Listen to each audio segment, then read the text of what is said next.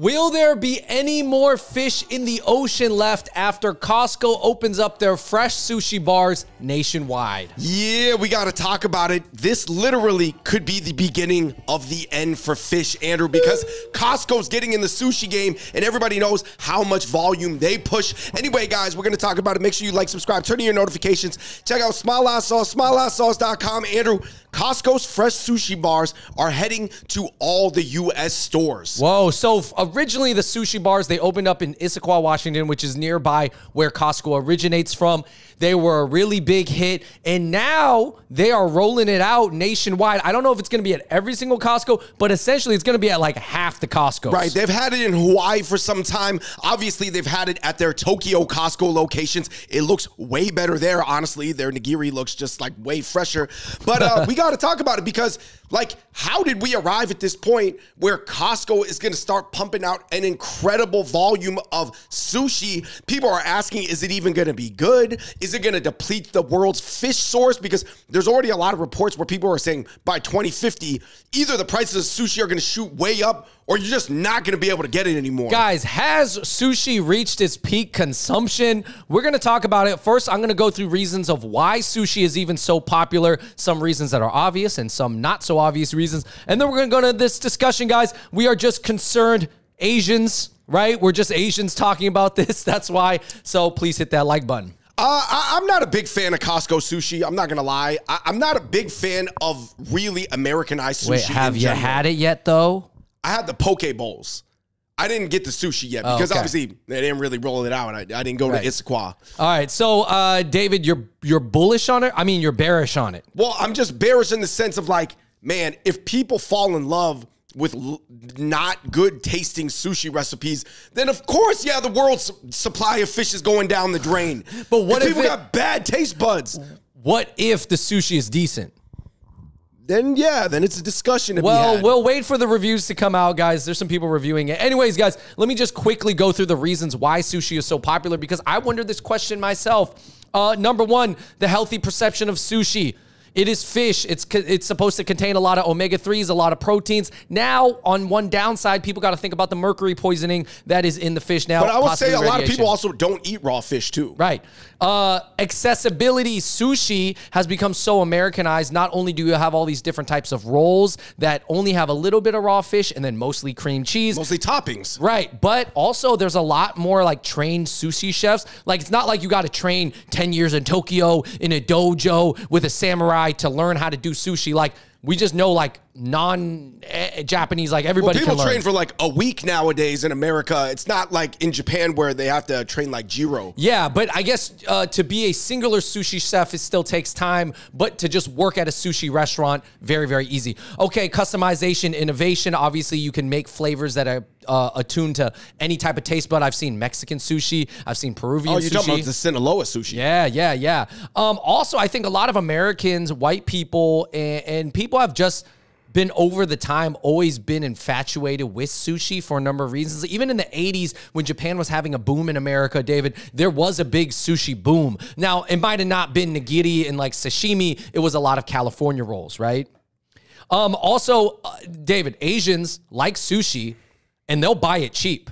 Like other Asians, like I really know like a lot of Chinese people, and I'm one of them.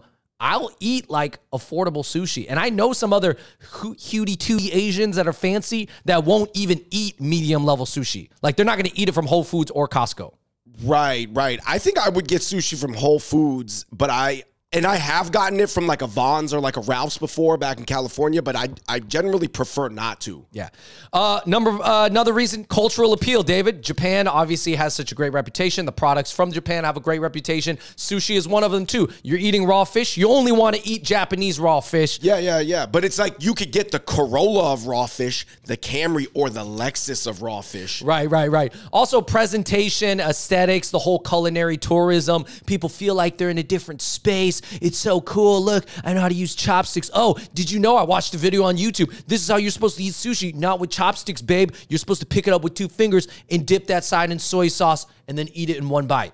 Also, uh, it's profitable, guys. That's another big thing. High margins. Oh, a lot of Asians that are not Japanese in America own sushi restaurants or sell sushi because it is a much higher margin item than probably like their own native cuisine to, Guys, to produce and market. Guys, people are paying like five, six, seven, eight dollars per piece of food. Anyways, David, uh, those are the reasons why sushi is so big right now. But let's talk about the the other aspects of this. Yeah, I mean, I think that it's had a really interesting arc like anime in the same way that anime was ostracized at one point in American society. Now it's hyper mainstream. Sushi at one point was ostracized uh, at a time several decades ago. Now you would say it's hyper embraced. Do you think it's kind of interesting how like sushi was getting popular and then poke got real popular, the, but the poke bubble kind of burst and then contracted, and then now people are back on to like, yo, I just want to eat regular sushi, not this poke stuff. Yeah, and I think probably the most heavily overlooked aspect of sushi, because sushi actually is referring to the vinegar rice, is like the rice aspect. Andrew, go figure, is overlooked in America. Like you're you're the, the the like the pre-made sushi you're gonna get from like Snow Fox, the rice is gonna be like on a Japanese scale, like a two out of ten. Yeah. You know what I mean? They're just not going to focus on it in America versus obviously in Asia. Uh, David, do you have any insight on how sushi is uh, fish is raised? Because now there's a lot of different ways. Because it's not all wild caught. A lot of it is farmed. Some of it's even called ranched like tunas, you know, which are usually pretty big fish. They sometimes catch them young and then they put them in They one of those. them. They adopt them and they they they catch them when they're young and then they put them in those like net bodies of water. I don't know what they're called. The farming. So nets. imagine you're a big bluefin tuna and you just were born in the deep blue sea and then you just get put in a net. Yeah.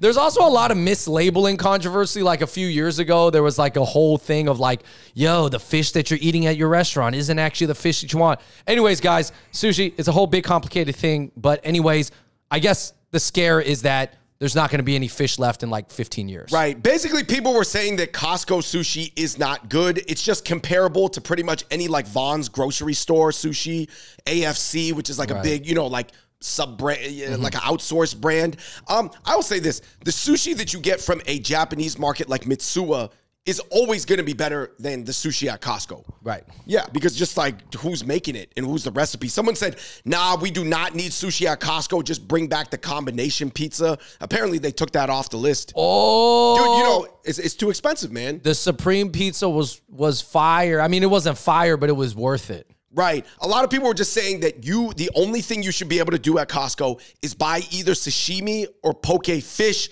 and then you got to cook the rice at home. Because if it's already just sitting out with the rice, it's going to get hard and stale and cold, and it's just not going to work. Right, but if Costco's pushing volume, and guys, we made a video recently about why Asians love Costco so much. David, how much was the su- was was the idea to serve sushi due to the high level of Asian customers at Costco? But but I'd have to take a look at the at the combinations that they're rolling out. If it's all just Philadelphia rolls and California rolls, I'd be like, I don't know if it was for the Asians. okay, but what if they got nigiri and sashimi?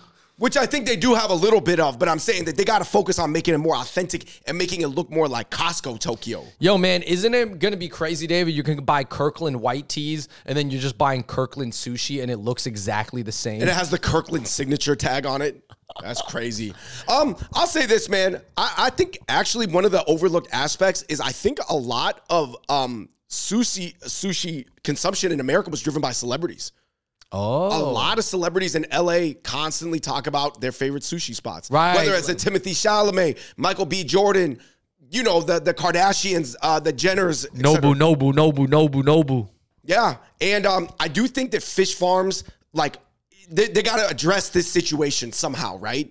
In either in the future, just uh, the prices of fish are going to be super high, or like they'll just have to figure out a new ecosystem. Right, right. I mean, I guess fish farms are gonna increase to grow because you can't catch everything wild. I mean, even if you look at a lot of the salmon pieces, if it's bright orange, it's more or less farm raised because uh, uh, actual live salmon, uh, wild salmon is darker in in flesh color. So I guess a lot of the sushi you're already eating is farm raised. It's gonna continue.